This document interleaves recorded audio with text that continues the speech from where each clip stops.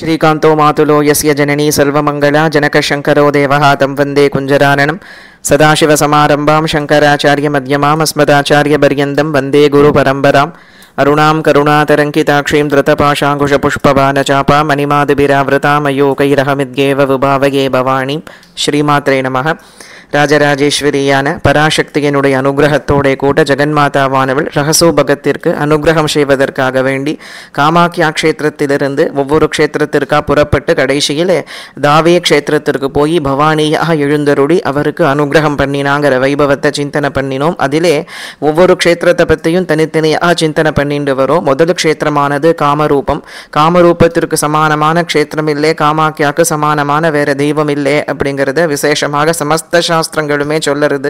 அந்த காமாக்கியாவுக்கு மேலே வேற ஒரு வஸ்துவானது கிடையாது. ரெண்டாவது அந்த காமரூபேஸ்வரியான பராசக்தியானவள் காமரூபத்திலிருந்து புறப்பட்டு காளிகட்டம் அப்படிங்கிறதான க்ஷேத்திரத்திற்கு வந்தா அப்படிங்கிறத விசேஷமாக சொல்லக்கூடிய வழக்கமானது விளங்குறது. காளிகட்டம் பராசக்தியினுடைய அதிமுக்கியமாக விளங்கக்கூடிய பீட்டம் அது. அம்பாள் தட்சிண காளிகா அப்படிங்கிற ஆச்சரியமான வடிவத்தோட கூட பிரகாஷிக்கிறா அவளுடைய மகிமையை சொல்லறதுக்கு மும்மூர்த்திகளாலேயும் பஞ்சபிரம்மங்களாலேயும் சப்த பிரம்மங்களாலேயும் அந்த காளிகா தேவியின் பத்தியா விளங்கக்கூடிய மகாகாலராலேயுமே முடியாதில்லையா? அப்பேற்பட்ட பரம மங்கள ஸ்வரூபினியவோ மோட்சத்தை உண்டு பண்ணக்கூடியதான கருணாமூர்த்தி இந்த கலிகாலத்திலே கலவு காளி கலவு காளி கலவு காளி து கேவலா அப்படின்னு கலிகாலத்தை பொறுத்த வரைக்கும் காளிகாமால மாத்திரம்தான் அனுகிரகத்தை சீக்கிரமா பண்ண முடியும். இந்த கலிகாலத்தை பொறுத்த வரைக்கும் சமஸ்த சங்கடங்களையும் கஷ்டங்களையும் நிவர்த்தி பண்ணி வைக்கக்கூடிய கருணாமூர்த்தியா விளங்கக்கூடியவள் சாட்சாத் தட்சிண காளிகா தான் அந்த காளிங்கிற நாமாவை சொன்ன மாத்திரத்தில் சமஸ்த பாப்பங்களும் அடியோடு அழிஞ்சு போயிடுறது அப்படிங்கிறதும்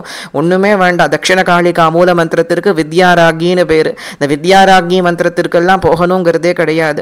அம்பாளுடைய நாமாவையே ஓம் காளி அப்படிங்கிறதே மகாமந்திரமாக விளங்குறது. அந்த ஓம் காளிங்கிற மகாமந்திரமே சகல விதமான பாப்பத்தையும் க்ஷயப்படுத்தி அழித்து க்ஷேமத்தை உண்டு பண்ணி மோட்சத்தையும் கொடுக்கறது அப்படின்னா கருணாமூர்த்தியாக விளங்கக்கூடிய பகவதி காளிகா தேவியினுடைய மகிமையை என்னதுன்னு சொல்ல முடியும்.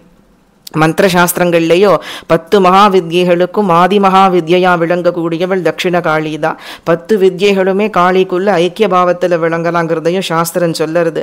அவளே தான் அனாதியா விளங்கக்கூடியவள் ஆதியா விளங்கக்கூடியவள் ஆத்தியந்தமில்லாத சைத்தன்ய ரூபிணியா விளங்கக்கூடியவள் மகாஸ்மசானத்தினுடைய மத்தியத்திலே விளங்கக்கூடியவள். சம்ஹார காலத்தில் பரதேவதையை தியானம் பண்ணும் பொழுது ஸ்மசானத்துக்கு மத்தியத்திலே விளங்கக்கூடியவளாக ஷவாரூடையா விளங்கக்கூடியவளாக பரமசிவனாருடைய உடையதான மார்பிலே தன்னுடைய பாதத்தை வைத்துக்கொண்டு விளங்கக்கூடியவளாக அம்பாளை தியானம் பண்ணிக்கணும். மகாகாலரை இயக்குவிக்கக்கூடிய சக்தியா விளங்கக்கூடியவள் காலத்தையே கடந்து விளங்கக்கூடியவள். அதனால தட்சிண காளி அப்படின்னு பேர். பக்தர்களுக்கு உடனே ஓடி வந்து அனுகிரகம் பண்ணக்கூடிய சரளமான மூர்த்தி தட்சிண காளி தான் காளி குலத்துக்குள்ள நிறைய காளி பேதங்கள் உண்டு. பரதேவதையினுடைய ரூப பேதங்கள் அநேகம் உண்டு. காமகலா காளி குஹ்ய காளி ஸ்வேத காளி ரக்த காளினெல்லாம் காளி குலத்துல நிறைய காளி காளி பேதங்கள் உண்டு. ஆனால் அத்தனை காளி பேதங்கள்லையுமே அம்பாள் வந்து பரம கருணாமூர்த்தமாக விளங்கக்கூடியதான ஸ்வரூபம் எதுன்னா தட்சிண காளிகா பரமேஸ்வரி தான். பக்தி மார்க்கத்தினால் அடையக்கூடியவளும் அவள் தான் ஞான மார்க்கத்தினால் அடையக்கூடியவளும் சாட்சாத் தட்சிண காளிகா பரமேஸ்வரி தான். இவளுடைய தியானத்தை சொல்லும் பொழுது ஷவாரூடாம் மகாபீமாம் கோரதம்ஸ்ராம் ஹசன்முகீம் சதுர்புஜாம் கட்கமுண்ட வராபயகராம் சிவாம் முண்டமாலாதராம் தேவீம் லலஜிஹ்வாம் திகம்பராம் ஏவம் சம்சிந்தையேத் காளீம் ஸ்மசானாலய வாசினீம் அப்படின்னு பகவதியை தியானம் பண்ணிக்க சொல்கிறா காளியை சம்ஹார காலத்திலே தியானம் பண்ணிக்கும் பொழுது அம்பாளை விசேஷமாக மகா ஸ்மசானத்துக்கு மத்தியத்தில் அதாவது அம்பாளுக்கு எட்டு மகாபீட்டங்கள் விசேஷமாக உண்டு. கோலாகிரி காமகோட்டி அதே மாதிரி எட்டு மகாபீட்டங்கள் விசேஷமாக உண்டு. இந்த எட்டு மகாபீட்டங்களையும் ஸ்மசானமாக கொண்டு மத்தியத்திலே விளங்கக்கூடிய மகா ஸ்மசானத்திலே ஜெகன்மாதாவானவள் மகா காளியா தட்சிண காளிகா பரமேஸ்வரியா பிரகாசிக்கிறாங்கிறத சாஸ்திரம் சொல்லறது. அது மாத்திரம் இல்லாமல் சர்வமும் ஒடுங்கி போகிறது ஸ்மசானத்தில் தான் எல்லாமே பராசக்தி கிட்ட ஒடுங்கி போயிடுறது. அவளுக்கு மேலே வேற ஒரு வஸ்துவானது லோகத்திலே கிடையாது. உக்ரமய ருத்ரனும் சக்தியில் லயமாக உலவும் தண்டகாளி அப்படிம்பா. உக்ரமாக அந்த புவனங்களை எல்லாம் சம்ஹாரம் பண்ணக்கூடியதான ருத்ரனும் கூட கடைசியிலே ஆத்தியந்தமில்லா சைத்தன்யமான காளியோட ஒடுங்கி போயிடுறாருங்கிறத சாஸ்திரங்கள் எல்லாம் சொல்லுறது இல்லையா? எஞ்சி உச்சிஷ்டமாக விளங்கக்கூடியவள் தட்சிண காளி தான் அவளுக்கு மேலே வேற யாரும் கிடையாது அவளை தாண்டி எதுவுமே கிடையாது. அப்பேற்பட்ட பராசக்தியை ஸ்திதி காலத்தில் அம்பாளை தியானம் பண்ணிக்கும் பொழுது மகா கைலாசத்தினுடைய மத்தியத்திலே விளங்கக்கூடியவளா தியானம் பண்ணிக்கணுங்கிறது சாஸ்திரம். கைலாசத்தினுடைய மத்தியத்திலே விளங்கக்கூடியவளாக பகவதியாக ஜெகன்மாதாவை தியானம் பண்ணுற ரத்னமயமான ஒரு வச- பிரகாரங்களுக்கு மத்தியத்திலே விளங்கக்கூடியவளாக மகாகாளியை தியானம் பண்ணிக்கக்கூடிய சம்பிரதாயமும் உண்டு. அப்படி சரு சிருஷ்டி ஸ்திதி சம்ஹாரம் அப்படிங்கிற மூன்று காரியங்களையும் பண்ண விளங்கக்கூடிய ஆதிசக்தி பகவதி தட்சிண தான் ஷவாரூடாம் ஷவத்தின் மீது விளங்கக்கூடியவள் மகாபீமாம் பெரிய உருவத்தை கொண்டவள் அப்படின்னு வர்ணிக்கிறார். ரொம்பவும் பெரிய உருவத்தை கொண்டவள். கோரதம்ஷ்ராம் ஹசன்முகி கோரமான கோரை பற்களை கொண்டவள் அப்படின்னு ஒரு சமஹார கிருத்தியத்தை செய்யக்கூடியவளா இருக்கிறதுனால கோரமான ஒரு பல்லை உடையவளாக ஷவாரூடாம் மகாபீமாம் கோரதம்ஷ்ராம் ஹசன்முகீம் அப்படியே மந்தஹாசத்தோட கூட. அதாவது இங்க அட்டஹாசம் லலிதா திரிபுர சுந்தரியா விளங்கும் பொழுது பகவதியானவள் மந்தஹாச வதனியா இருக்கா. அவளே தட்சிண காளிகாவாக விளங்கும் பொழுது அட்டாட்டஹாசினியா இருக்கா. சிரிச்சுண்டே இருக்கக்கூடிய முகத்தை கொண்டவள்னு பேர். அந்த சிரிப்பு மந்தஹாசமா இருக்கு. இங்கே அட்டஹாசமா இருக்கு. பகவதி அட்டாட்டஹாசினின்னு பேர். அம்பாளுடைய அட்டகாசத்திலிருந்து ஆயிரக்கணக்கான யோகினி கூட்டங்கள் உற்பத்தியாகி வந்தான புராணங்கள்ல எல்லாம் படிக்கிறோம் இல்லையா? அப்படி பகவதியானவள் அட்டாட்டஹாசினியாக அட்டகாசம் செய்யக்கூடியவளாக பிரகாசிக்கிறா.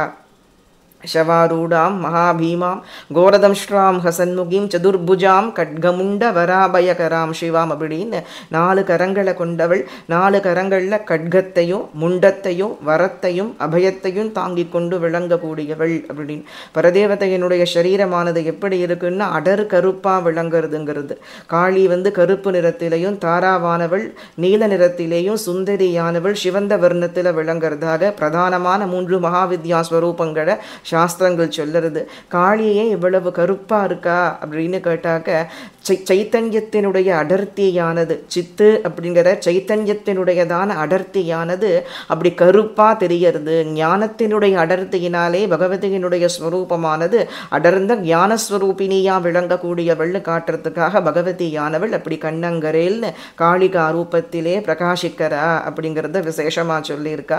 ஹசன்முகியும் சதுர்புஜாம் கட்கமுண்ட வராபயகராம் சிவாம் கட்கத்தையும் முண்டத்தையும் வரத்தையும் அபயத்தையும் தாங்கிக் கொண்டு விளங்கக்கூடியவள் கட்கமுண்ட வராபயகராம் சிவா. முண்டமாலாதராம் தேவிம் அப்படின்னு ஐம்பத்தோரு முண்டங்களை கோர்த்த மாலையை தரிச்சு கொண்டு விளங்கக்கூடியவள். திரிபுர சுந்தரிக்குமே இந்த தியானமானது உண்டு.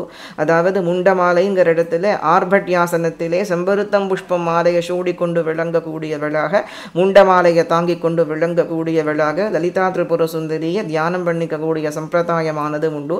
செம்பருத்தம் பூவை முண்டமாலைக்கு சமானமாக சொல்லுவா. அதனால தான் நீங்கள் இந்த கல்கத்தாவில் எல்லாம் பார்த்தேள் அப்படின்னு சொன்னாக்க இந்த வங்காள தேசத்தில் செம்பருத்தம்பூ தான் நிறைய கிடைக்கும் எல்லா அம்பாளுக்கும் செம்பருத்தம்பூவை தான் சாத்துவாங்க. ஏன்னா இந்த செம்பருத்தம்பூவானது முண்ட முண்டமாலைக்கு சமம். அந்த அந்த முண்டமாலைங்கிறது ஞானஸ்வரூபம் அது. ஐம்பத்தி ஓரு மாத்ருகாட்சரங்களும் தான். அத்தனையும் அழிஞ்ச பொழுதும் அக்ஷரமானது அழியாது. அதனால தான் அக்ஷரம் அப்படின்னு எழுத்துக்களுக்கு பேர். அந்த எழுத்தானது அழியறது கிடையாது. அக்ஷரமானது எப்படி அழியாதோ அதுபோல் அழியாமல் விளங்கக்கூடியவள் பராசக்தி ஒருத்தி தான் அந்த பராசக்தியை தவிர மற்ற எல்லாமே அழிஞ்சு போயிட போகிறது அழியாமல் விளங்கக்கூடிய ஆதிபராசக்தியான தட்சிண காளிகா சாஸ்வதி தனக்கு மேலே வேற ஒன்றுமே சாஸ்வதம் கிடையாது. நான் மாத்திரம்தான் சாஸ்வதமாக விளங்கக்கூடியவள். என்ன சரணாகதி பண்ணுங்கிறத சூச்சிப்பிக்கிறதுக்காக வேண்டித்தான் ஐம்பத்தோரு முண்டங்களை கோர்த்த மாலையை தன் கழுத்திலே பராபகவதியானவள் தாங்கின்றிருக்கா. ஐம்பத்தோரு முண்டங்கள்ங்கிறது ஐம்பத்தி ஓரு அக்ஷரங்கள். ஐம்பத்தோரு அக்ஷரங்களையும் தன் சிரசிலே தன் கழுத்திலே பகவதியானவள் மாலையா தாங்கின்றிருக்காங்கிறது அர்த்தம். அப்படி முண்டமாலாதராம் தேவியும் லலஜிஹுவாம் லலஜிஹுவானா தொங்க விட்டு இருக்கக்கூடிய நாக்கை கொண்டவள் அப்படின்னு பேர் தொங்க விட்டிருக்கிற நாக்குன்னா அம்பாள் வந்து நாக்கை வெளியிலே தொங்க விட்டு கொண்டிருக்கக்கூடியவளாக சு- அந்த நாக்கை சுழற்றின் இருக்கக்கூடியவளாக விளங்குறா அப்படின்னு திகம்பராம் திக்கே அம்பரமா விளங்குறது. காளிக்கு வஸ்திரம் கிடையாது. அவளை வந்து அவள் தியானம் பண்ணிக்கும் பொழுது வெட்டின கையை தான் அவள் இடுப்பில் வஸ்திரமா தொங்குறதா தியானம் பண்ணிக்கணுங்கிறது சம்பிரதாயம். திகம்பரியாக விளங்கக்கூடியவள். அதாவது பிரம்மத்தை வந்து எதையுமே கொண்டு மறைக்க முடியாது. எல்லா இடத்துலையுமே வியாபித்து விளங்கக்கூடியது பரபிரம்மம். அந்த பரபிரம்மம் யாருன்னா சாட்சாத் பகவதி தட்சிண காளிகா பரமேஸ்வரி தான். தட்சிண காளின்னா தட்சிணானா தெற்கு. அந்த தெற்கு திசைக்கு அதிபதியாக இருக்கக்கூடிய யமன் இந்த காளிங்கிற பேரை சொன்னாலே அவர் வந்து அந்த காளிங்கிற பேரை யார் சொல்கிறாளோ அவளை நெருங்க மாட்டார் அப்படிங்கிறது சாஸ்திரம். யமனே பரமகாளி உபாசகராச்சே. தர்மராஜாவே பரமகாளி உபாசகர் தான் அப்பேற்பட்ட ஒரு கருணாமூர்த்தியாக விளங்கி இந்த கலிகாலத்திலே பரம கருணாமூர்த்தி யாருன்னா அது காளி தான் அவளுடைய மந்திரத்திற்கு ரொம்பவும் பிரயாசை தேவையில்லை. தட்சிண காளிகா மந்திரத்துக்கு காளிக்கு நிறைய மந்திரபேதங்கள் உண்டு. அதெல்லாம் ரொம்ப கஷ்டம். நம்மளால் அனுஷ்டானமே பண்ண முடியாது. ஆனால் நெருங்க முடியாதவளாகவே நாம் இருந்துட்டோம்னா என்ன பண்ணுறதுங்கிறதுக்காக வேண்டியோ என்னமோ அம்பாள் பரம கருணாமூர்த்தியை இறங்கி வந்து அனுகிரகம் பண்ணின்னு இருக்கா. வித்யாராக்னி வித்யைகளுக்கெல்லாம் அரசின்னு பேர். தட்சிண காளிகா மந்திரத்தை தியானம் பண்ணிக்கக்கூடியவன்கிட்ட தச தச மகாவித்யா மூர்த்தங்களும் வந்து என்ன வேணும் கேடு நாங்கள் கொடுக்குறோன்னு சொல்லுவாளா? அப்பேறுபட்ட வைபவத்தோடு விளங்கக்கூடியது தட்சிண காளிகா மகாமந்திரமானது. அப்படி ஏவம் தியாயேத். இப்படி விளங்கக்கூடியதான தட்சிண காளிகா பரமேஸ்வரியை நான் தியானம் பண்ணிக்கிறேன் ஏவம் தியாயேத் மகாதேவியும் ஸ்மசானாலய வாசினியும் ஸ்மசான ஸ்மசானாலயத்தினுடைய மத்தியத்திலே ஸ்மசானத்தினுடைய மத்தியத்திலே விளங்கக்கூடியவளா இருக்கிற தட்சிண காளிகா தேவியை நான் தியானம் பண்ணிக்கிறேன் அப்படின்னு பராசக்தியினுடைய தியானமானது விளங்குறது ஆச்சரியம் என்னன்னா காஞ்சிபுரத்திலே விளங்கக்கூடிய காஞ்சி காமாட்சி பராபட்டாரிகா ஸ்வயம் லலிதா திரிபுர சுந்தரியாவும் இருக்கா? அவளே தான் தட்சி காளிகாவாவும் பிரகாஷிக்கிறா மூக்க பஞ்சசதியிலே மன்னிக்கணும் காமாட்சி பஞ்சசதியிலே பார்த்தோம் சொன்னாக்க மகா ஸ்மசான நிலையா காயத்ரி மண்டபேஸ்வரின்னு ஒரு நாமா வளருது மகா ஸ்மசானம் எது அம்பாளை காளிகாவா தியானம் பண்ணிக்கும் போது ஸ்மசானத்துக்கு மத்தியத்தில் விளங்குறான்னு சொல்கிறாளே அப்படின்னா மகா ஸ்மசானம் எதுன்னா காஞ்சிபுரத்திலே காமகோட்டி மகாபீட்டத்திலே விளங்கக்கூடியதான ஒரு ஸ்ரீசக்கர மகாபிலம் இருக்கு இல்லையா அந்த ஸ்ரீசக்கர மகாபிலமே தான் மகா ஸ்மசானம்னு சொல்லுவா பிரம்மாண்டங்கள் எல்லாம் உற்பத்தியாகி வந்த பராசக்தியின் கர்ப்பஸ்தானமாக விளங்குறதும் அந்த மகாபிலம் தான் பிரம்மாண்டங்களை எல்லாம் பஸ்மீகரிக்கிறதுக்காக வேண்டி ஜெகன்மாதாவானவள் பிரளய காலாகினியா கடைசியில் ஆவிர்பவிக்க போறதும் அந்த பிலத்துல தான் அந்த ஸ்ரீசக்கர மகாபிலத்தில் தான் அதனால தான் அதற்கு மகாஸ்மசானம். அந்த மகாஸ்மசானமானது பில ரூபத்தில் ஸ்ரீசக்கராகாரமா பிரகாசிக்கிறதுங்கிறத சாஸ்திரங்கள் எல்லாம் சொல்லுறது.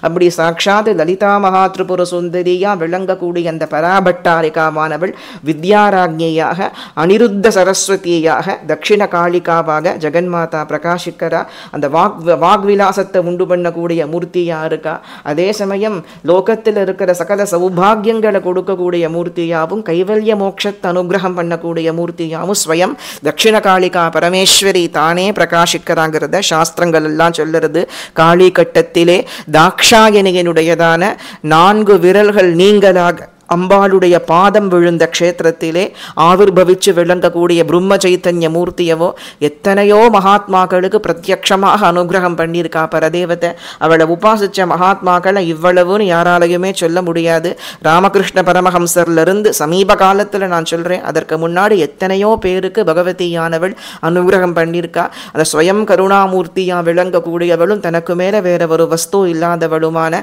தட்சிண காளிகா பரமேஸ்வரியனுடைய பாதார விந்தங்கள் பாதங்களை சரணாகதி பண்ணுவோம். தொடர்ந்து பாட்டனா க்ஷேத்திரத்திலே விளங்குற பாட்டனேஸ்வரியின் வைபவத்தை சிந்தனை பண்ணலாம் காமாட்சி சரணம். சர்வமங்கல மாங்கல்யே சிவே சர்வார்த்த சாதிகே. சரண்யே திரயம்பகே கௌரி நாராயணி. நமோஸ்துதே. காமாட்சி சரணம். ஸ்ரீமாத்ரே நமஹா. காமாட்சி காமாட்சி.